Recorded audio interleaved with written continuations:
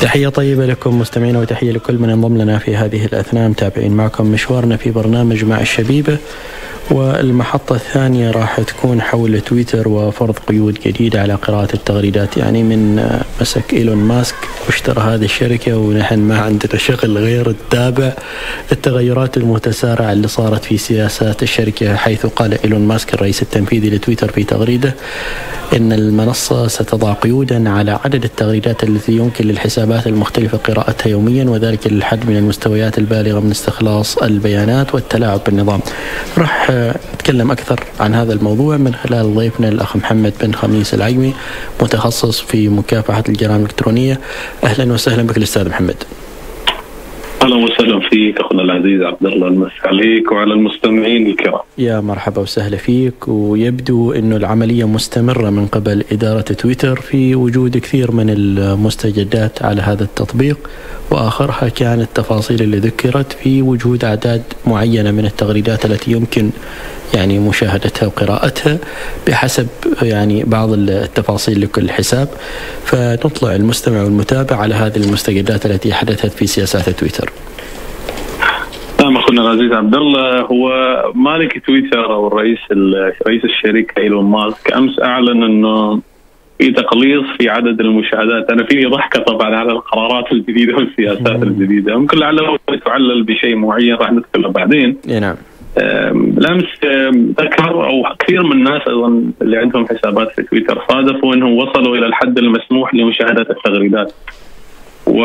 والبعض ظن انه في مشكلة في حسابه والبعض كان يقول إنه في مشكلة عامة أصلا في تويتر، نعم يمكن لعله في مشكلات دائما تظهر في تويتر لكن هذه المشكلة بالتحديد هي وصول إلى الحد الحد من مشاهدة الجديدة اللي وضعتها تويتر أو وضعها تويتر. وأعلن عنها إيلون ماسك في حسابه ذكر كان بالأمس إنه الحسابات أصبح عندها محدودية في مشاهدة 6000 تغريدة. في اليوم للحسابات الموثقة والحسابات الغير موثقة راح تكون 600 في اليوم. والحسابات الجديدة الطازجة بعدها اللي توها جديدة راح تشاهد 300 بوست. بعد ذلك هو عدل الموضوع وقال الآن زاد في العدد. أصبح 8000 للحسابات الموثقة و800 للحسابات الغير موثقة و400 للحسابات الجديدة. نعم. وأيضا بعد ذلك عمل تغريدة أخرى أو رد التغريدة قال وصل الحسابات الموثقة إلى 10000 تغريدة في اليوم يشوف الحسابات الغير موثقة إلى 1000 والحسابات الجديدة إلى خمسة. طبعا هو ذكر إنه يمكن من باب الفكاهة حقيقة ما أدري حقيقة المغزى من هذا الأمر لكن من باب الفكاهة ذكر إنه تستخدموا تويتر بشكل كبير وحسب ترجمه التغريدة اللي هو ذكرها إنه حان الوقت إنك تجلس أو تطلع خارج المنزل. لكن هو ذكر في واحدة من هذه التغريدات شركات الذكاء الاصطناعي، إيش مشكلة إيلون ماسك مع شركات الذكاء الاصطناعي؟ مشكلة إيلون ماسك مع الذكاء الاصطناعي هو طبعا عنده هاجس دائما يتخوف من مسألة الذكاء الاصطناعي وأن الذكاء الاصطناعي راح يعمل تغيير سلبي في حياة الناس لكن هو يقصد هنا بالنسبة للروبوتات اللي أو ال bot اللي تعمل تغريدات وتزيد عدد المشاهدات. وتعمل لك لايكات وهمية. هو دائما عنده هاجس في هذا النقطة. وهذا أمر نقطة مهمة جدا أيضا وجدا مهم التركيز عليها. وإيلون ماسك يحارب هذا الشيء بشكل قوي جدا.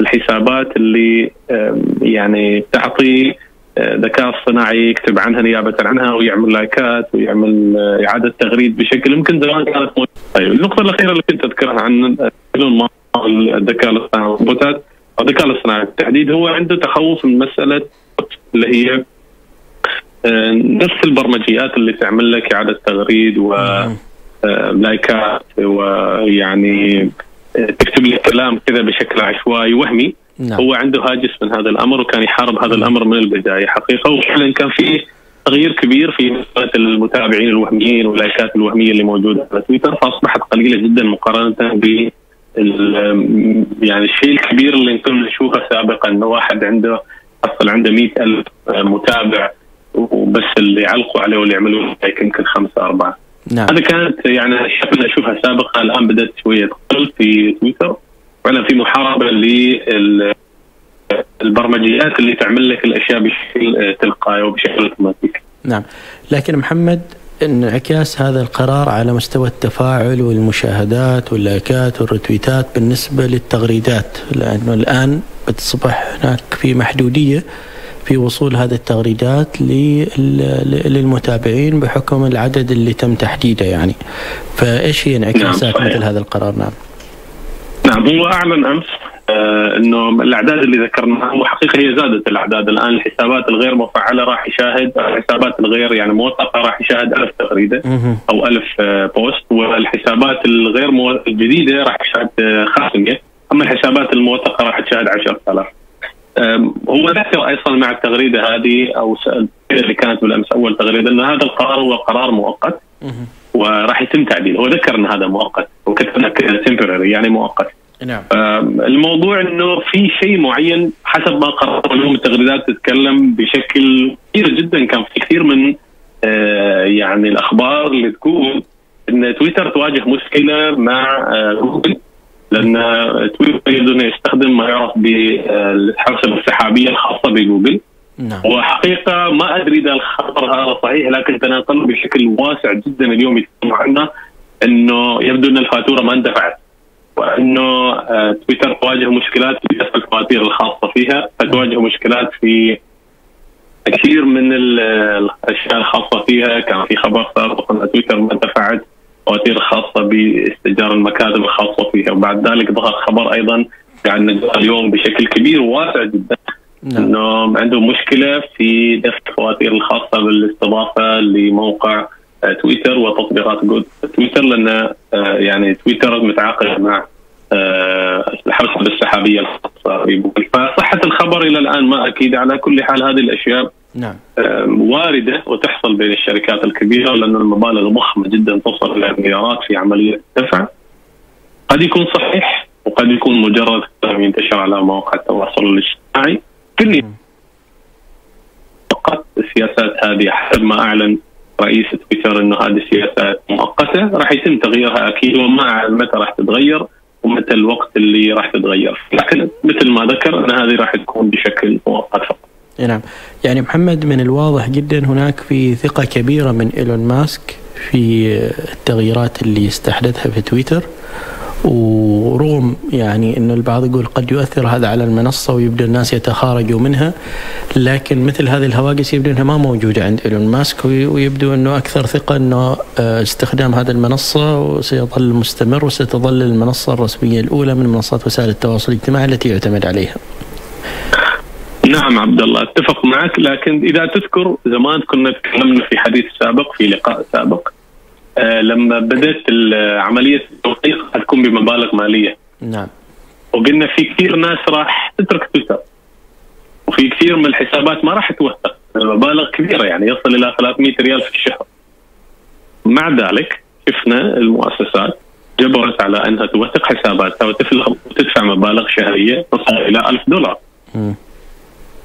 وحقيقه هذا الامر لا زال موجود. والآن نفس المسألة.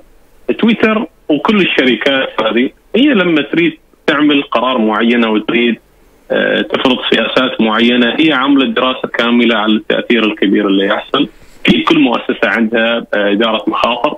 واحدة من أكبر المخاطر اللي تواجه هذا النوع من التطبيقات أو هذا النوع من المواقع هو ترك العملاء للمنصة هذه. نعم. هل يوجد بديل؟ لا ما يوجد بديل، نعم في ناس كثير تستخدم الفيسبوك لكن كثقافه مثلا عندنا كثقافة خليجية ما كثير ناس الفيسبوك أكثر موجوده على تويتر. نعم. في بعض الدول ثقافتهم مثلا في جمهورية مصر الأخوة الاحباء هناك يستخدموا مثلا الفيسبوك أكثر مما يستخدموا تويتر. ثقافتنا هنا نحن عندنا في المنطقة الأكثر يستخدموا تويتر مع طبعا عدد الضخم الكبير اللي يستخدموا الفيسبوك. فهل في بديل؟ إلى الآن الناس تتوجه إلى تويتر وتثق في تويتر أكثر من المنصات الأخرى نعم. بحكم أن المؤسسات تقريبا القطاع الخاص والوسائل الحكومية كلها موجودة. نعم. هل راح يظهر شيء في المستقبل ينافس تويتر؟ قد يكون لأنه سابقا كان ما عندنا واتساب، كان عندنا رسائل نصية وكان الناس تستخدم تطبيقات قديمة حتى ما نذكر أساميها، بعدين ظهر الواتساب راحت التطبيقات الأخرى، الآن ظهرت تطبيقات أيضا تشارك وتنافس الواتساب تليجرام إلى اخره وغيرها من المنصات التطبيقات حتى تطبيقات محلية ظهرت عنده يمكن في المستقبل تستخدم بشكل أكبر عن الواتساب. وكذلك أيضا بالنسبة لتويتر قد تظهر تطبيقات تنافس التويتر بمميزات أكبر بصلاحيات أكبر بإمكانيات أكبر هذا وارد. لكن تأكد تماما أن هذا النوع من الشركات لما تدخل في هذا النوع من الأشياء تطبق هذا النوع من السياسات هي دارسة الموضوع بشكل كامل نعم. وتعرف توجهات الناس وين راح تكون مثل ما قلنا سابقا لما صار التوثيق بمبالغ مالية كل الناس ما راح نوثق ابدا ما راح نوثق لكن في النهاية الناس وثقت ودفعت مبالغها وكذلك أيضا المؤسسات القطاع الخاص والمؤسسات الحكومية لا زالت تدفع حتى لو المبلغ كبير يصل إلى 1000 دولار لا زالت تدفع هذا المبلغ. يلا بنشوف مسلسل تويتر لين وين بيوصل. ولكن هو يسوي دراما شوي آه. يحب يسوي دراما. ولكن واضح إنه مستمر يعني إلى الآن. ونشوف نعم. يعني إن شاء الله هذه المستجدات كيف بتكون. شكرا لك محمد على هذا التوضيح. ونتمنى لك كل التوفيق إن شاء الله. شكرا. الله, الله يسلمك محمد بن خميس العقل متخصص في مكافحة الجرائم الإلكترونية وكان معنا طبعا الحديث عن المستجدات الأخيرة في منصة آه، تويتر. هذه كانت حصيلة برنامجنا اليوم مستمعينا الأحبة وهناك آه،